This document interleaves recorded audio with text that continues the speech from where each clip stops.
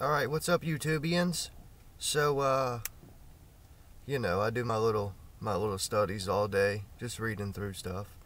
And, uh, I came across two, two separate articles, right? And, uh, one is, in 2018, the Vatican and the Chinese government made a, a deal. They made a contract in regard to appointing bishops, right?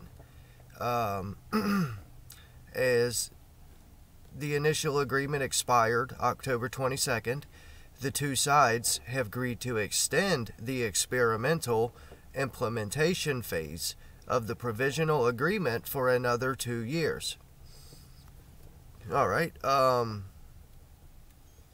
the Holy See considers the initial application of the agreement successful, uh, and it was it was a good thing for them. Um, there is good communication and cooperation between the parties on the matter that they were discussing. Discussing it is disgusting. Sorry. Um, signed in Beijing, September twenty second.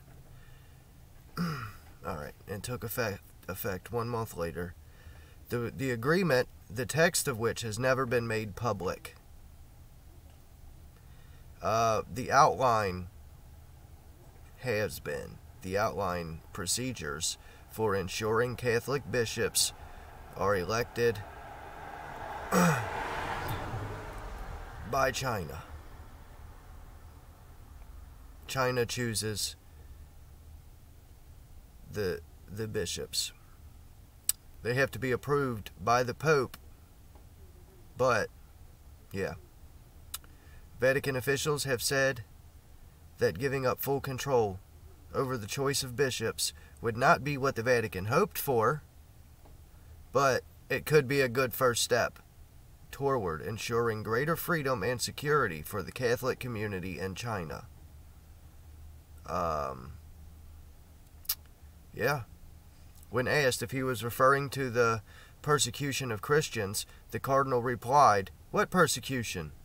It is necessary to use terms correctly. There are rules that are imposed and that apply to all religions, and they certainly appeal to the Catholic Church. When asked about Christian persecution, this dude basically said, What persecution? Actions have consequences. It's crazy. So, that isn't really important. This is what's important.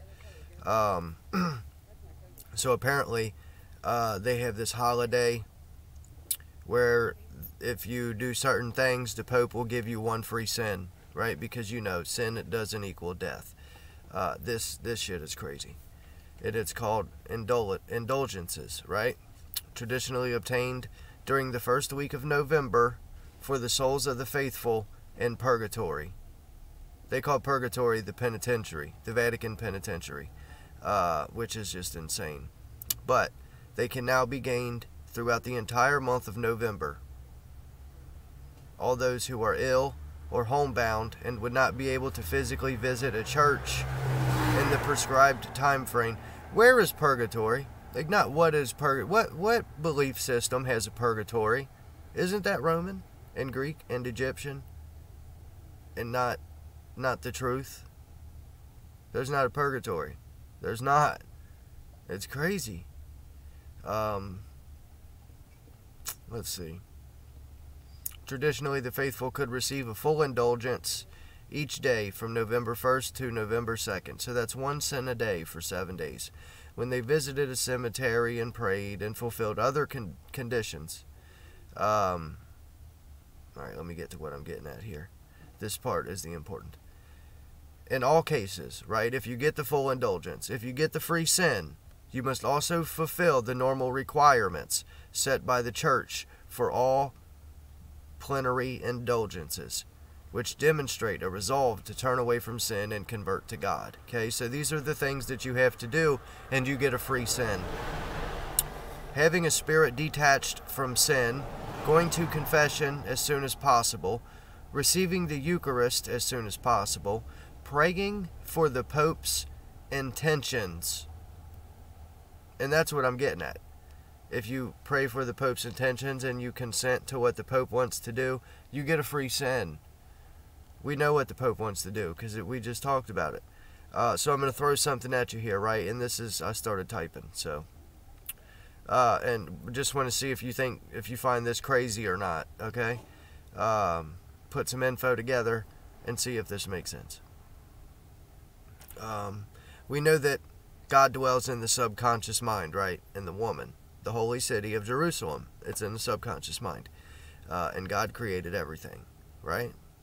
So another way to say that that exact same thing is the conscious reality is a manifestation of the subconscious mind. Does that make sense? Good. Uh, now, the Pope said he would give you a free sin, right? If you want to shoot somebody, you could probably shoot somebody. I don't know specifically how it works. Like he did with Guy Fawkes. The mask, the anonymous mask I just did a video on, everybody that was involved in that Jesuit treason was given a free sin um, instead of burning Guy Fawkes at the stake, they burned a picture of the Pope at the stake in the place of Guy Fawkes. It's insane. Uh, it's it's crazy. Uh, so you got a free sin if you say, "Lord, help the Pope get his mission done." You get a free sin, right? Uh, and because most men operate off their their nature, right? their sinful nature. Uh, that sounds like a good deal, you know? So they accept it and they get their free sin and they do one little thing and then whatever. Uh, and we know how consent and contracts work, right? We're under contract law. So if you do that, you did that. That's that. Uh, and just for the record here, there are 1.2 billion Roman Catholics. The world truly does lust after the beast. Uh, and that's just Roman Catholics. Let's read this, right? Uh, I Google searched how many people follow the Pope. The Pope is considered one of the most powerful people because of his extensive diplomatic, cultural, and spiritual influence on 1.3 billion Catholics and beyond. Right? Keep in mind that it's the subconscious mind that manifests the reality. Okay? That's that's insane. Uh, so that's a, a free sin for 1.3 billion at minimum people in exchange for consent and approval and support for the Pope's plan, right? We know what the Pope's plan is, right? Fratelli Tutti. Um, that's billions of subconscious minds making the Pope's, manifesting the Pope's goal, right? What's the Pope's goal? It's Fratelli Tutti. It's uh, we was just talking about it. It's the universal brotherhood. The ungodly, flesh-serving. What's it called? The common good, stripping you of your uniqueness for the sake of everyone around you. I, I, it's crazy. I don't even believe, right? I don't personally believe that there is an end time, right? Nations will come and go, people will come and go, but the world always stays. The world doesn't go anywhere. Like this, this world is here forever. Um, but this sounds like, you know, it sounds just like some, some physical interpretation of Revelation. It's more likely, though, it's just the demise of the Western world and the power shifting back to the East. You know what I mean? Uh, but the point that I want to make here is that the Pope stated his awful, ungodly plan for stripping the individual of uniqueness and, and all that, right? Um, and there are billions of people who are to make a deal to manifest it. Does that make sense to you? You know what I mean? You get it? I was just reading and, and it it all came to me piece by piece and I was like, oh shit because you you paint the reality. You paint your own world. And when 1.3 billion people paint the same world that was designed by the Pope, it's probably going to be bad. Does that make sense to you, though? It makes sense to me. I just figured I'd share it with you.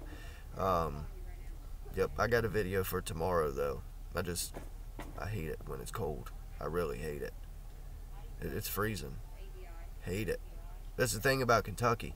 It can be like winter and it'll still be 85 degrees. And then in summertime, you might get a day that's in the 40s.